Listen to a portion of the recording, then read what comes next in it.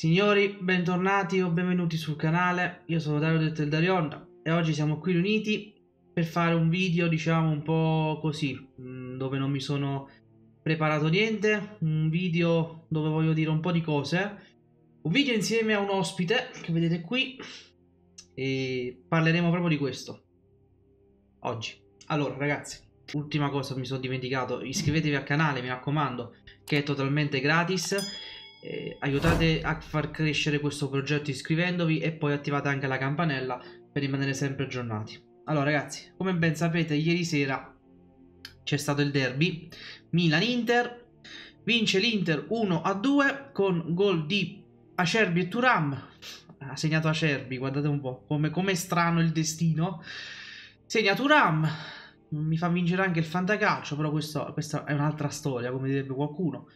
L'Inter ieri sera ha vinto eh, matematicamente lo scudetto e sappiamo benissimo, diciamo, è stata una, una serata storica perché per la prima volta nella storia della Serie A uno scudetto viene, viene diciamo, vinto in un derby eh, stracittadino. E l'Inter quindi ieri sera ci ha ufficialmente levato dal petto lo scudetto. Fatto anche la rima. Ora, noi tutti sappiamo benissimo che questo scudetto non ce l'hanno tolto ieri sera, ma lo sappiamo, sono mesi che ce lo siamo tolti anche un po' da soli. Qualcuno forse si sarà anche accorto che io sul canale e in generale sui social che ho, ho fatto un po' un restyling, uh, soprattutto del logo. Uh, ho tolto il cerchio tricolore perché da ieri sera ufficialmente non siamo più campione d'Italia, però vi ricorderete nei mesi passati avevo qui nel video in alto lo, lo, scudetto, quello scudetto che pian piano diventava sempre più trasparente per poi scomparire totalmente. Però ieri sera, diciamo, è arrivata l'ufficialità quella proprio decisiva. Ripeterò un po' di cose, però secondo me vanno ripetute perché quest'annata va archiviata ma non dimenticata, nel senso io veramente mi auguro con tutto il cuore che quest'anno tutti, tutti i membri della SSC Napoli mi auguro che abbiano tratto delle lezioni ecco da quest'annata, specialmente da una persona in particolare che sapete benissimo chi è, De Laurentiis, quello che secondo me ha iniziato questo diciamo quest'annata disastrosa perché ragazzi noi, io, io sono di un parere il calcio è un gioco di squadra, quindi quando si vince, vincono tutti. Quindi quando, lo, quando si vince lo scudetto, ha vinto De Laurentiis, ha vinto Chiavelli, ha vinto Giuntoli, ha vinto Spalletti, hanno vinto i giocatori, hanno vinto tutto. Tutta la SSC Napoli, da De Laurentiis fino all'ultimo magazziniere. Quando si perde, perdono tutti. Perde De Laurentiis, in primis, perde Chiavelli, perde Meluso, perde, perdono Garcia, Mazzarri, Calzona, perdono tutti i giocatori, tutti, tutti, nessuno escluso, quindi io sono di questo parere. E mh, mm, la cosa che a me onestamente veramente ha fatto molto male quest'anno. Eh, cioè, ieri sera quando ho visto il fischio finale no, di Milan Inter, perché ieri la, la, partita me la sono vista, quando ho visto il fischio finale dentro di me, un po' uh, è, è, sceso un po' di tristezza, ma non perché l'Inter ha vinto lo scudetto, perché l'Inter che vinceva lo scudetto io lo avevo anche pronosticato nel video di giugno. La cosa che però a me ha dato fastidio e che mi ha fatto male è che noi con questo sul petto non abbiamo fatto niente per rendergli la vita difficile. Io quest'anno non chiedevo di vincere un'altra volta lo scudetto perché era impossibile, eh, no, no, impossibile no, molto difficile, molto difficile, sarebbe stato storico e leggendario vincere due di consecutivi, cosa che non è mai successa, però di base ero consapevole che non avremmo vinto, però ero convinto e sotto un certo punto di vista esigevo anche che il Napoli ehm, salutasse questo scudetto con più dignità e che lo difendesse meglio. Ecco, questo è mancato quest'anno. Noi questo scudetto non l'abbiamo mai difeso, non abbiamo fatto niente per dare fastidio all'Inter e per rendergli la vita un po' più difficile. Sin dal primo giorno, da quel maledetto giorno dove ADL durante la festa scudetto disse questa squadra puoi allenarla anche tu. Da lì sono partiti tutti i problemi e io eh, anche in modo ingenuo, io purtroppo quelle parole e tutto quello che è arrivato dopo l'ho preso un po' sotto gamba. E I video sul canale ci sono. Io durante l'estate ho voluto fare un po', tra virgolette, il garantista di De Laurentiis, ma non perché io sono un tutto a posto, sono un lecchino di De Laurentiis. L'ho fatto perché secondo me De Laurentiis si era meritato il credito che si era appunto guadagnato lo scorso anno. Un po' più di fiducia, diamogli tempo, credito, secondo me alla fine ha fatto scelte giuste. Eh, l'ho fatto diciamo in buona fede perché ho detto ha, ha portato lo scudetto e quindi un po' di credito glielo voglio dare. Purtroppo questo credito sin da subito è stato, è stato tradito. I video sul canale ci sono di quest'estate, dopo ho detto un sacco di cose che poi si sono rivelate false, sbagliate. Ho fatto una previsione sbagliata, eh, non c'è niente da, da aggiungere e non voglio giustificarmi. Faccio soltanto i miei più sinceri complimenti e, e a tutti quelli che durante l'estate hanno, ci hanno visto lungo, ecco, e lo, lo dico in maniera seria, non, sto, non voglio prendere in giro, lo dico proprio sinceramente. Complimenti a tutti quelli che quest'estate ci avevano visto lungo e avevano capito sin da subito l'antifona della stagione. Io, non, io credo che nessuno si sarebbe aspettato un disastro del genere, però magari, che so, non vai in Champions, arrivi sesto, quinto, te la lotti, però non ci vai, ecco ma credo che nessuno si sarebbe mai aspettato un, una tragedia del genere. E quindi io purtroppo in estate mi sono fatto un po' prendere ecco, da, da questa cosa che aveva vinto lo scudetto e quindi un po' di credito, un po' di credito se lo meritava. Da questo momento in poi non sarà più così e quindi De Laurentiis dovrà coi fatti e coi fatti seriamente eh, recuperare questo credito. E i fatti quali sarebbero? Sono cose un po' che abbiamo già detto, perché alla fine sono quelle le cose dove De Laurentiis deve cambiare, deve, deve migliorare, eh, quindi le ripeterò un po'. Ragazzi, io ieri sera, dopo la vittoria dello scudetto, sono andato così per curiosità a guardarmi un po' l'organigramma dell'Inter e poi dopo ho visto anche quelli del Milan e della Juve. Adesso vi dico una cosa, no? Allora... Sappiamo tutti che il presidente dell'Inter è Zang, ok? Sappiamo tutti che Zanetti è il vicepresidente.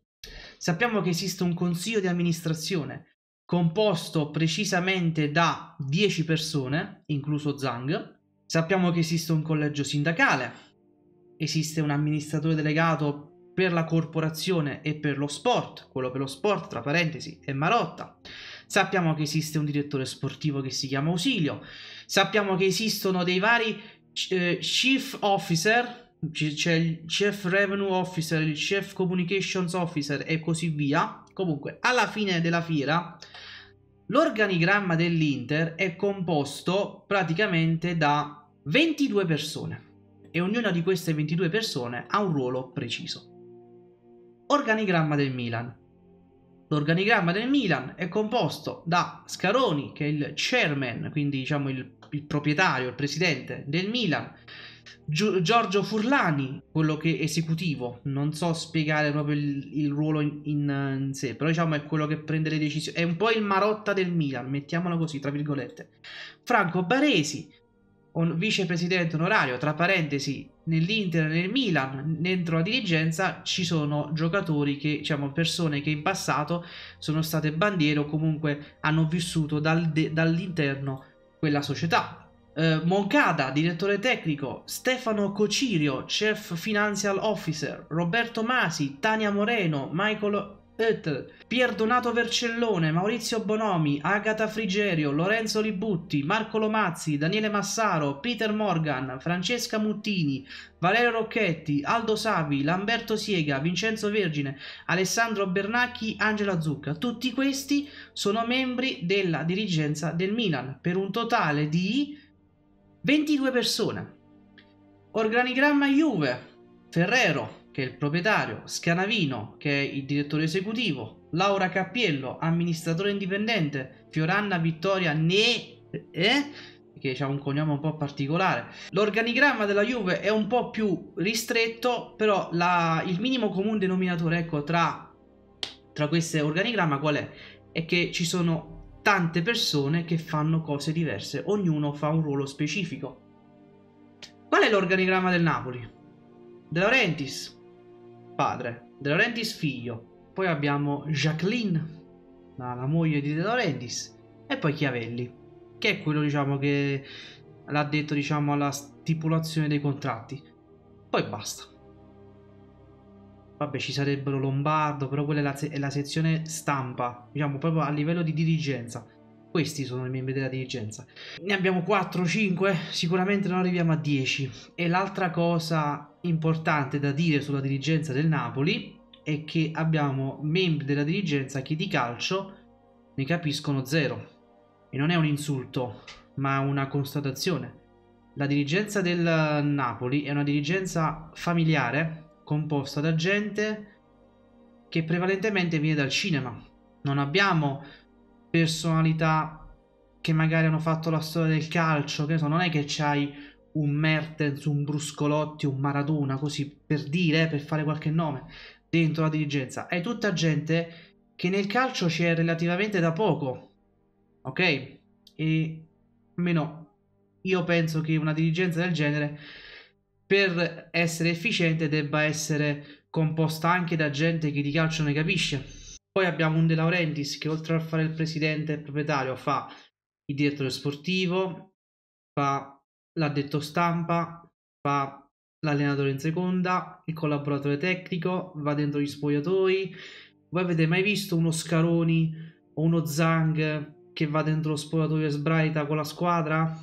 Io no. Ecco, ragazzi, quindi qui arriviamo al primo tema tanto discusso quest'anno, ma che è fondamentale parlarne. Eh, noi abbiamo una dirigenza che non è, non è efficiente, costruita male, snella, povera di personalità che nel calcio ci sanno fare. Un'altra cosa che volevo dire, no? Se voi andate a vedere l'organigramma di, di, Juve, Milan Inter, voi non troverete una pagina intera dedicata alla biografia del presidente con tanto di gigantografia, come ad esempio succede nel Napoli. Se voi andate sulla pagina del Napoli, c'è una sezione dedicata esclusivamente a il presidente, ignorando tutti gli altri. Ecco, quindi questo è, un, è anche un altro, diciamo, eh, segno del, della, diciamo, peculiare del carattere di De Laurentiis.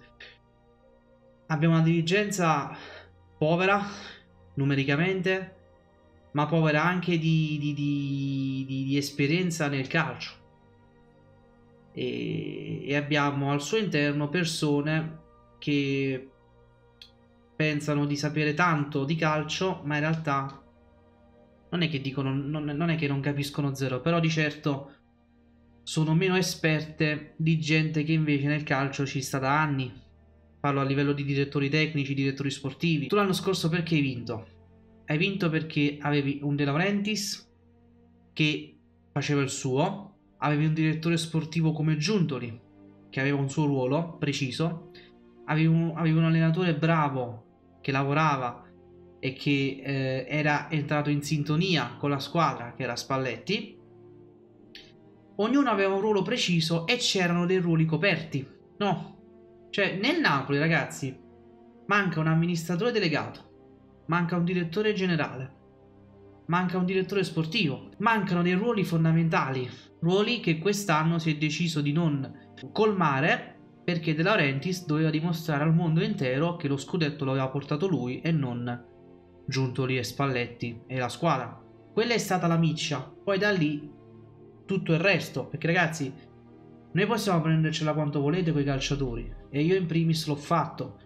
Però alla base dobbiamo sempre ricordarci una cosa. Questi giocatori sono stati privati di un allenatore come Spalletti, che appunto era entrato in sintonia con loro, proprio si vedeva che avevano un rapporto proprio padre-figlio, ok, più o meno. Gli hai tolto Spalletti, gli hai dato un allenatore come Garcia che sin dal primo giorno non è mai entrato in sintonia con i calciatori, anzi con alcuni è entrato proprio in contrasto e su questo Ciro Troise ha detto più volte questa cosa. Ciro Troise a mio avviso è uno dei pochi giornalisti seri che abbiamo a Napoli. Ciro Troise ci ha, più, ci ha più volte detto che il ritiro estivo è stato uno dei peggiori della storia ci ha detto più volte che dei calciatori, specialmente in primis Anghissà, che ci diceva che appunto l'allenatore non era mai entrato in sintonia con la squadra. Quindi tu gli hai tolto Spalletti, gli hai dato uno che non è mai entrato in sintonia, lo esoneri.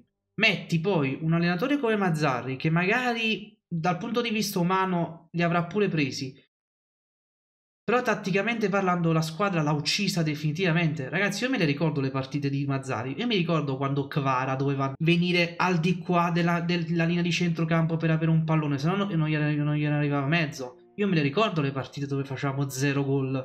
Mazzari magari umanamente parlando avrà riallacciato i rapporti, ma tatticamente parlando ha ucciso definitivamente questa squadra. E poi è arrivato Calzona, ma Calzona purtroppo è arrivato quando, quando ormai il danno era stato fatto ed era tutto irrecuperabile. Quindi quando noi ce la prendiamo con i calciatori, ricordiamoci sempre che loro sono comunque delle vittime del disastro fatto quest'anno. È tutta una catena, ragazzi. Immaginiamo una piramide.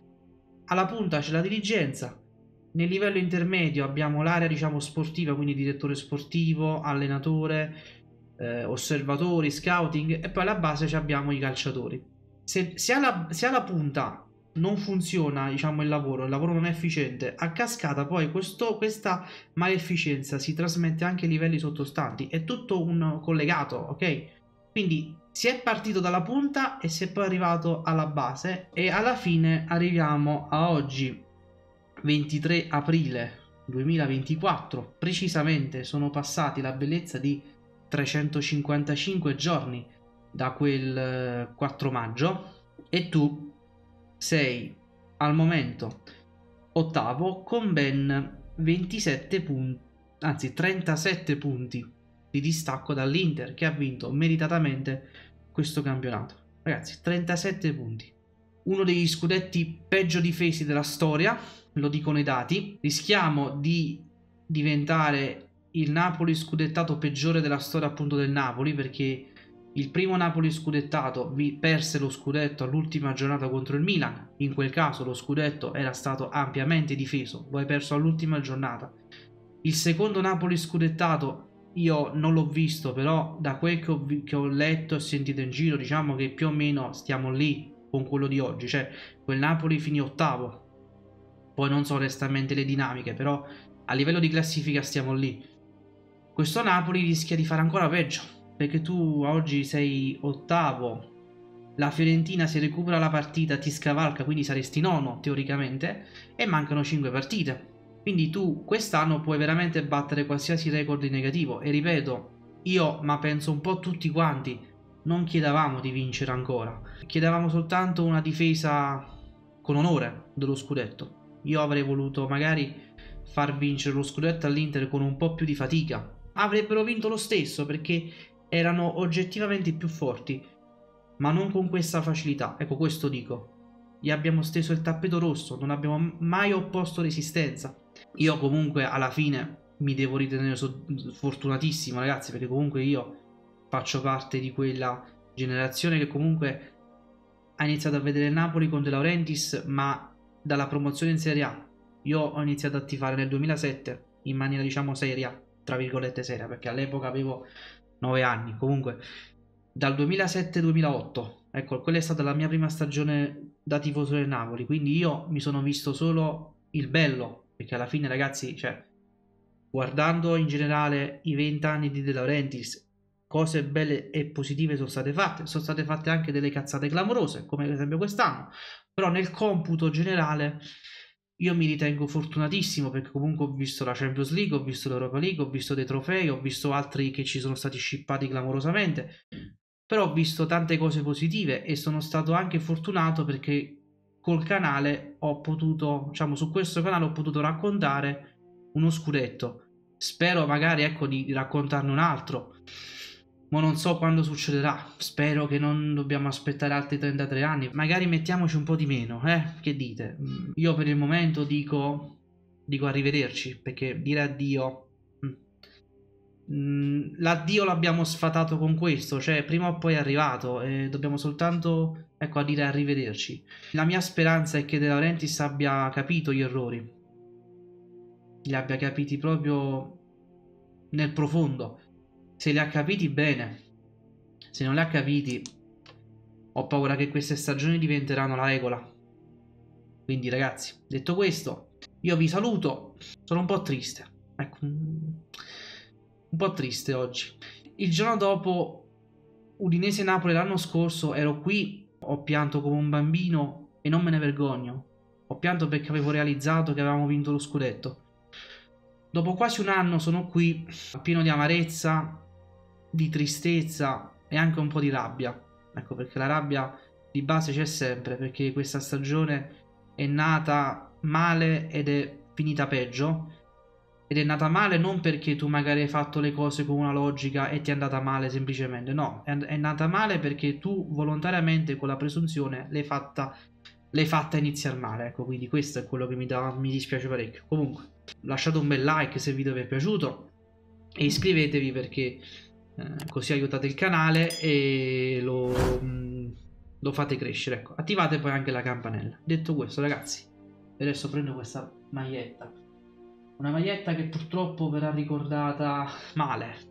Questo non cancella comunque il fatto che nell'anno scorso abbiamo fatto quello che abbiamo fatto. Quello che è successo l'anno scorso non verrà mai dimenticato, non verrà mai sporcato. Quello che è stato fatto l'anno scorso rimarrà nella storia, negli almanacchi, rimarrà. Purtroppo rimarrà anche quello che si è fatto quest'anno. Ecco, io purtroppo quando vedrò questa maglia, cioè quando vedrò lo scudetto, non, solo, non penserò soltanto all'anno scorso, ma penserò anche a questo perché non hai avuto neanche il tempo, no? Di, di rielaborare, cioè un anno, è passato un anno. Noi l'anno scorso stavamo qui a piangere di gioia perché Raspadore aveva fatto il gol vittoria alla, alla Juve a Torino. Un anno esatto dopo quella, quel gol, noi siamo qui a pensare tutt'altro, ecco, quindi purtroppo questa maglia si porterà dietro un'annata tragica. Quindi adesso la ripungo nel cassetto. E quindi signori, questo è quanto. Spero veramente di vederne un altro di scudetto. Sempre e comunque Forza Napoli, perché quello non mancherà mai. E noi ci vediamo alla prossima.